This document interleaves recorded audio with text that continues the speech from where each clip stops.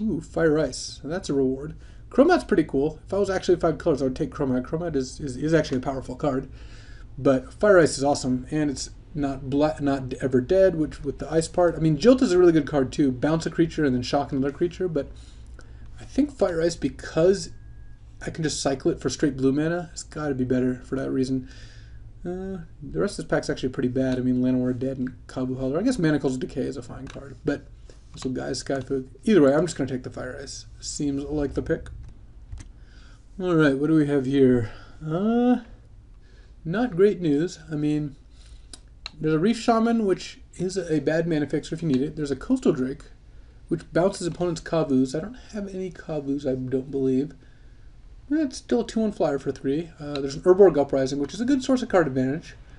Do I have good creatures to return? I've got some creatures, and they're not all great, but they're decent. There's Jungle Barrier, if you want to play green, it's a really good card. Uh, flag bears are good if you uh, can cast them. Angel is not good. you do not uh, don't want to play that card. All right, so and is obviously very good if you're green, but again, I don't think I'm doing that. So it's either Urborg Uprising or Coastal Drake. I can get a later Reef Shaman. If I don't, it's not the end of the world. I really want to have one Urborg Uprising, but I feel like I can get one of those later, whereas Coastal Drake is, you know, cheaper card, which is nice.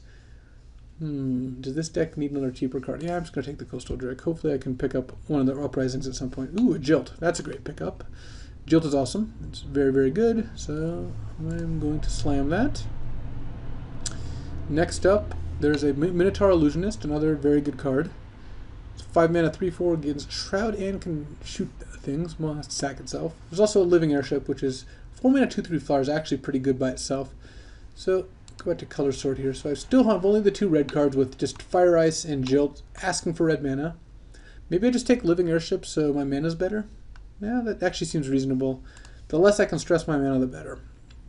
There's no Living Airship. I don't love the idea of having a second. There's also Evasive Action, which is going to counter... It's going to be a you know miscalculation, two to counter a two, two, two cost spell most of the time. See, this is why green, black, blue is sometimes good. The neglected archetype. I mean, there's like four really good green, blue cards. Well, green, blue, black cards, plus a living airship. Which could just take a second one of those. Go back to cost sort. Yeah, you know, living airship is just a fine card. Take that. Now I kind of wish I took uh, the Urborg Uprising because I'm going to pick up another Coastal Drake since I don't want these other cards. And kind of wish I was green, blue, black, but I like the red cards I have and I like the blue and black cards I have, so I'm not actually that sad. Alright, uh, I guess I can take another living airship. Hmm. I could also splash this. If I have a blue and a black permanent, give a creature plus 5, plus 5. I mean, that's pretty sweet. Yeah, I'll just take the living airship. I'm not going to play all of them probably because it's a lot of 4 drops. Let's see if I cut Death Bomb and I cut this, the Vodalian Merchant. Uh, Illusion Reality. No, this card is not good. Uh, Manacle's Decay is the best playable. I mean, I guess Gaea's Skyfolk's also pretty good. Uh, I'm not playing any of these cards. I'm not playing Quagmire Druid. I'll just take the Manacles. So I'm not playing Manacles or Dromar's Charm, I'm afraid. Alright, I'll take another Manacles. I've got a couple Manacles if I want to side those in against something large that I can't deal with otherwise. To use Late Goblin Legionnaire and Dega Disciple. Alright. And I guess I'm going to cut Stormscape Familiar. So I want to cut at least one or two more cards. I could cut a Living Airship. Sapphire Leech is actually going to have a pretty big drawback in my deck. But if you play it turn two, if you don't have a, like a three drop, or you just play a Tower Drake, you know, and then a Living Airship, then you just play Sapphire Leech. It's still a 2-2 flyer. And it's still, even though you play it on turn five or six, still only cost you two. You can play it the same turn as you play another black card, or you cast Jilt with Kicker, then play Sapphire Leech. It costing two is still relevant. And probably just cut the Bog down. Because I, I like morning, and maybe just cut the Cursed Flesh too. And then uh, end up almost as close to mono blue as I've ever been in this form. And another Quagmire Druid, a Zombie Boa, which is not great. Yeah, whatever, let's just take the Zombie Boa. Fine, we'll take a Quagmire Druid. Or, no, this is a Mournful Zombie. They look almost the same.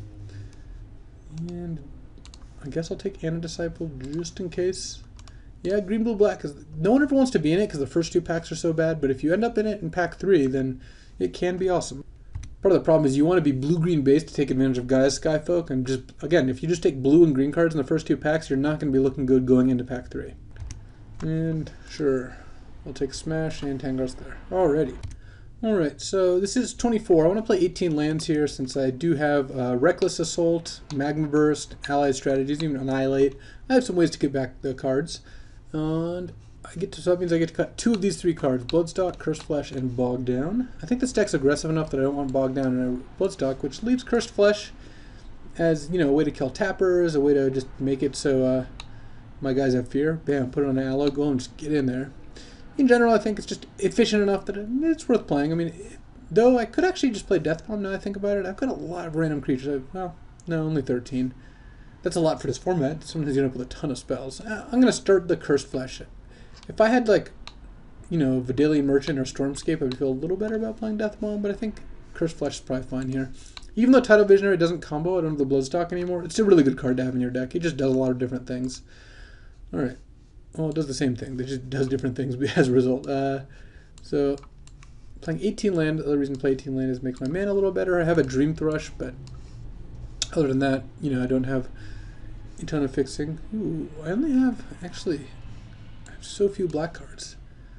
I wonder if I should have moved into something different. Yeah, I guess I could have just picked up a bunch of Gaea Skyfolk, but it makes this harder to splash, and Annihilate is really good. I'm thinking like 963. I like Three Mountains, certainly. Six swamps is decent. It could be eight seven. I really only need one island. I do have a Cavern Harpy and a Nightscape Familiar as early-ish plays. Nine six, but I it's kind of like seven because I have uh, the Dream Thrush, right? Right. All right. I think that's what I want to do. It's between nine set or eight seven and nine six, and I think nine six is what I want to end up.